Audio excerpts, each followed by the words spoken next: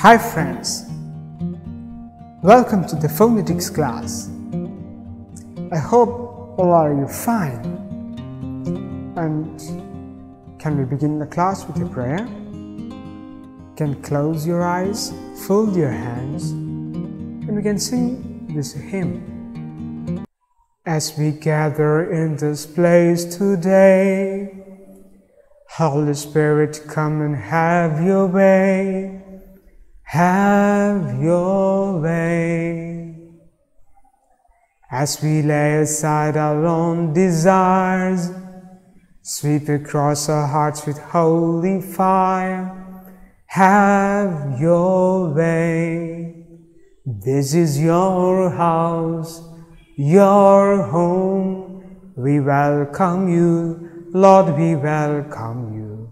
This is your house, your home. We welcome you today. Hello, friends.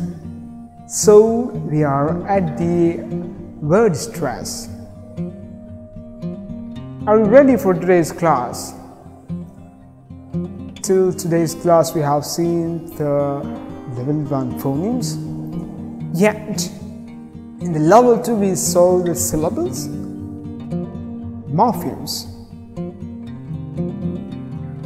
And in the morpheme, we have seen the past tense morpheme. Today, we will be dealing with the rest of the morphemes. They are present tense morpheme, plural morpheme, and the possessive morpheme. Let me repeat. We are in the level 2 of word stress. So far we have seen the morphemes. In the morphemes, we discussed the past tense morpheme. Today, we will be discussing the rest of the morphemes. They are present tense morpheme, plural morpheme, and the possessive morpheme. Let's have a look. Now let's look the realization of the present tense morpheme. If the verb ends with a voiced sound, the present tense third person singular form of the verb takes the sound at the end. Listen carefully repeat after me. Go, goes, dry, dries, disturb, disturbs, joy, joys. end, ends.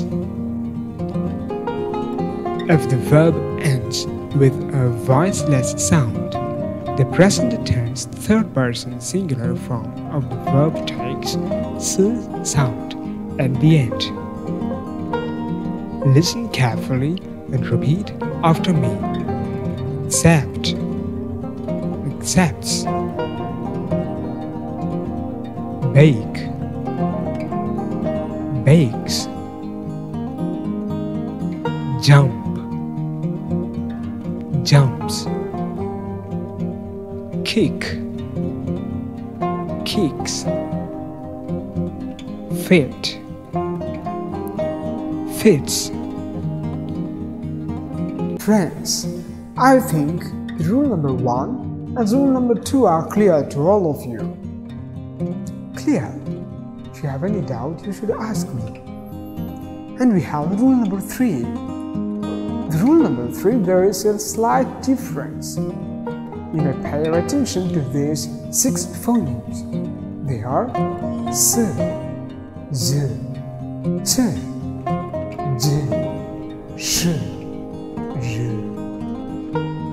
If the verb ends with these six phonemes, is sound is added at the end. Let me repeat. The rule number three, there is a slight difference from the previous rules. If the verb ends with these six phonemes, s, z, or ch, or j, or sh, or j. The last syllable will be is. Clear? Got it? Is sound is added at the end if the verb is ending in these phonemes. So let's go in detail. If the verb ends with s, z, ch, j, sh, or r sound, the present tense third person singular form of the verb takes is sound at the end. Listen carefully. Repeat after me. Face. Faces. Touch. Touches. Freeze. Freezes. Manage. Manages. Push pushes. Friends, I think the present tense morpheme is clear to all of you. So in the morpheme, we have finished the past tense morpheme last time and today we completed the present tense morpheme. Now we are entering into the plural morpheme. Pay attention, there is nothing more to learn in plural morpheme since all the three rules are same as in the present tense morpheme. What were the rules? So you can try with me. If the verb ends with a voiced sound, complete.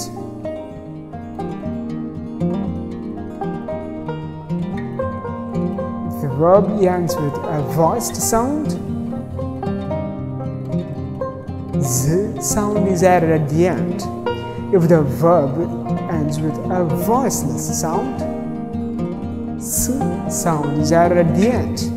And if the verb ends with s or z, or j, sh or is sound is added at the end. Clear?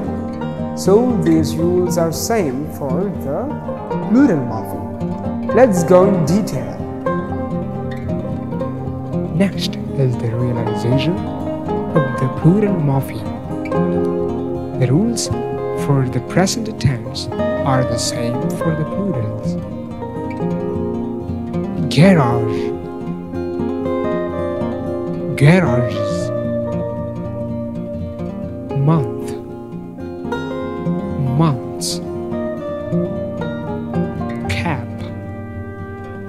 caps, road, roads, door, doors. I think the plural morpheme also clear to all of you, isn't it? Isn't it easy? There is no much difference between the present tense morpheme and the plural morpheme. And the same is the case with the next morpheme, possessive morpheme. There is no rule change. The rules of the present tense are same for the next set of morpheme. What is that? Possessive morpheme.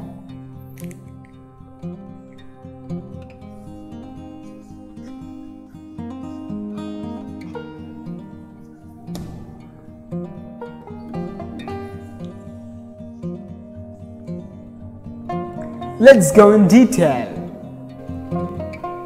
The realization of the possessive morpheme.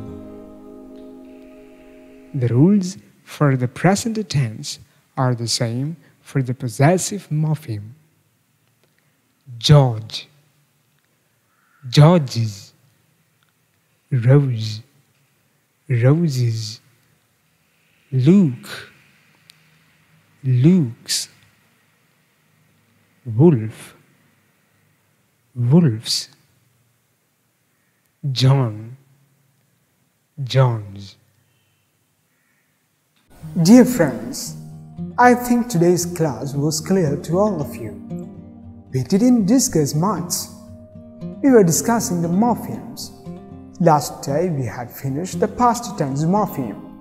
And today we discussed the present tense morpheme, plural morpheme, and the possessive morpheme, be. And each of these morphemes have three roles. The verb ends with a voiced sound. Here, d sound takes the end, and all the else, z sound takes the end. If the verb ends with a voiceless sound, past tense morpheme takes t sound at the end. Present tense, all the rest of the morphemes takes s sound at the end. And if here, if the verb ends with t or d sound, the end takes id sound. Here, if the verb ends with s or z, ch or j, sh or r sound, the end will be is sound. Clear? I think that was clear to all of you. Thank you for listening to me. At the end of the class, we have activity for today. This is activity 8. Some words are given. The next slides may copy that words and phonemes and read it. Clear? If you are doing the activities sincerely, you will find a considerable change in your pronunciation. Pay your attention and do the work. Good. So, we shall see again later. Bye bye. Here we have some examples that will help you to learn the rules of morphemes. Try by yourself.